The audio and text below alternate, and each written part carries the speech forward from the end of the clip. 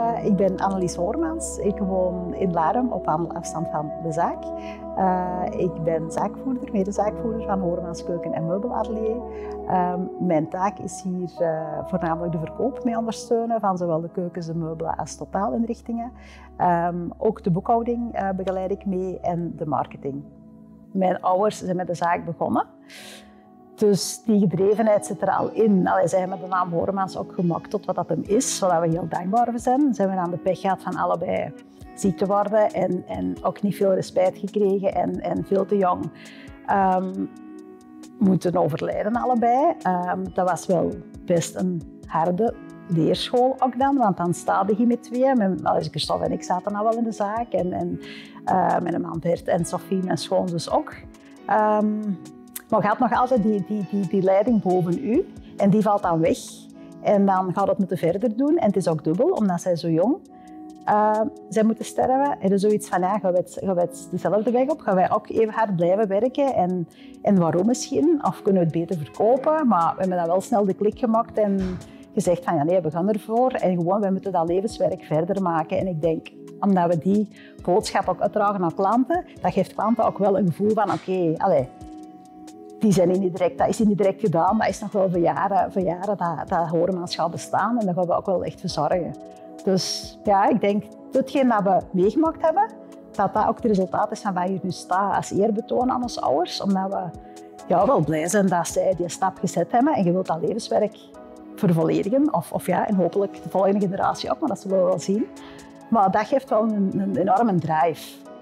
Dat is bij mij ook een stuk verwerkingsproces geweest, van dat je hun moet afgeven, dat je, dat, ja, dat je elke dag terug verder zet wat ze mee bezig waren. En dat, ik denk dat ditgene dat we meegemaakt hebben, dat er dikwijls niet veel woorden nodig zijn om te weten wat dat je, hoe dat iemand denkt of hoe dat we er tegenover staan. Dat je samen wel aan hetzelfde touw aan trekken bent en dat je er samen voor wilt gaan.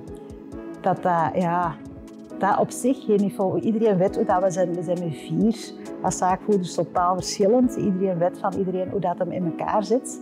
En dat is helemaal, dat is, echt niet gemakkelijk soms. Maar ondanks dat, allee, ik weet als mama, als mama wist dat ze moest sterven, heeft ze gezegd van, allee, jij doet dat goed, jij doet dat goed, maar ze weet ook hoe verschillend dat wij onderling zijn. En zo van, maak alsjeblieft geen ruzie en probeert probeert er het beste van te maken. En dat is ook iets dat mij sterkt. Ik denk, ik denk dat ik al aan. En dat is wel. Dus gewoon ook omdat je, je wilt dat gewoon goed doen. En zowel dat, dat, dat, komt ook van twee kanten. Ik weet ook, de dag dat papa gestorven is, kwamen we s morgens hier aan. Die keukens moesten wel geplutst worden. Maar iedereen staat klaar. En dat is wel goed. Je hebt mensen waar je kunt op rekenen. Het leven stopt niet, het leven gaat verder. En je moet voort. En er is maar één weg, die is vooruit. En die, die ja, bewandelen we allemaal samen. Maar het komt zeker van twee kanten. Het begrip en, en ja, uiteindelijk hebben veel van de mensen die hier nu werken, hebben dat ook meegemaakt. Of, of weten ook wat er gebeurd is, of waren die toen al. En ja, dat schept extra banden wel. Dat je als team nog, er nog sterker doorkomt. Ja. Het loopt goed. Dat is ook iets dat ik aan de, aan de klant benadruk. Dat we dat zelf ja, allemaal mee controleren en, en dat we ervoor zorgen dat het gewoon op het einde allemaal klopt. Dat we ook de mensen die erachter staan of die volgen, het begint met de verkoop, maar dan stopt het absoluut niet. Hè zelf controleerde media-offertes. Bert mijn man doet dat mee en, en bekijkt de voorontwerpen, dat er geen dingen zitten die niet mogelijk zijn. Christophe doet zelf die opmetingen, dus dat is ook een troef die je mee uitspeelt bij de verkoop.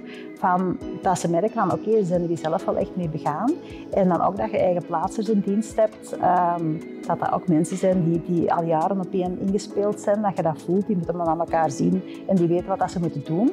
Dus dat is wel een hele plezante en dat, dat zorgt ook voor een extra troef in de verkoop tegen, allee, ja, dat je geen eigen plaatsingsproeven hebt, dat werkt helemaal anders. Nu weten van oké, okay, dat we met een heel strikte planning zitten, dat is ook belangrijk. Je doet een agenda open, je zegt oké, okay, die dag heb je keuken en dan, dat is wel voor bekend in de streek, dus dat we daar heel stipt in zijn. En allee, het, geheel, het geheel kunnen vertellen aan een klant is wel, ja, is wel plezant, is zeker een troef extra dat we kunnen uitspelen. Ja.